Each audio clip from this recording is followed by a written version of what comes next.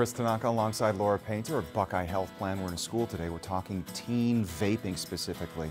Why is Buckeye Health Plan so focused on it? Buckeye is committed to transforming the health of our community one person at a time. Teen vaping has been declared an epidemic among youth, and the Centers for Disease Control reports that e-cigarettes are driving tobacco use up among high schoolers by 38% from 2017 to 2018. Parents at home got to be concerned, but they also probably are asking, what is vaping?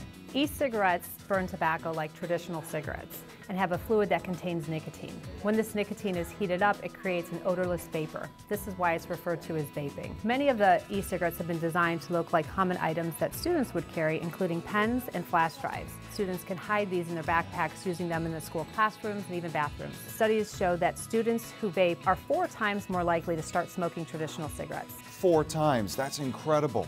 Are there any other adverse health effects? Mm -hmm. Tobacco use is the leading cause of preventable deaths in Ohio every year, leading 20,000 Ohioans to die because of it. Most smokers who begin smoking start before the age of 18. Those are preventable deaths. What can our viewers do? Make sure that you're educating your kids on the risks of e-cigarette use and the health impacts, and be a role model by living tobacco-free. Absolutely. You got to walk the walk and get informed too. You can find out more information at buckeyehealthplan.com or cleveland19.com under our Spot the Science tab.